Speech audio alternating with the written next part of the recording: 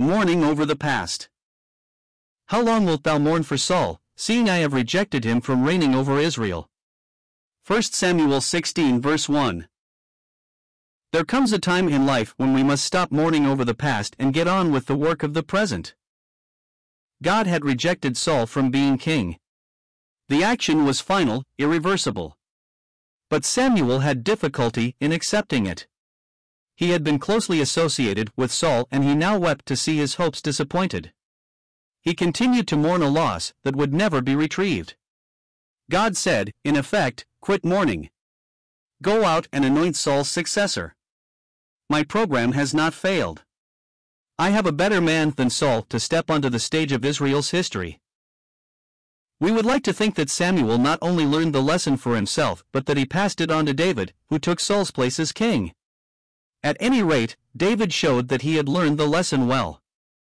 As long as his baby was dying, he fasted and mourned, hoping that God would spare the child. But when the infant died, he bathed, changed his clothes, went to the tabernacle to worship, then ate a meal.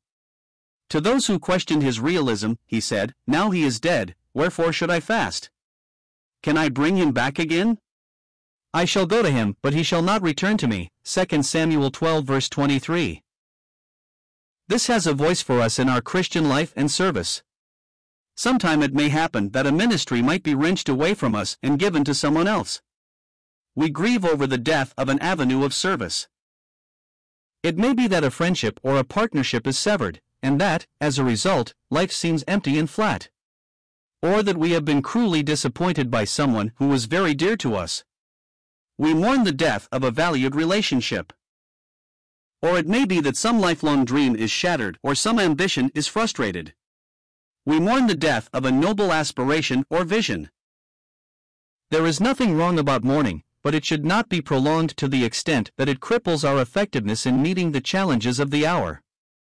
E. Stanley Jones said he made it a point to recover within the hour from the grief and blows of life. An hour may not be long enough for most of us, but we must not be forever inconsolable over circumstances that cannot be changed.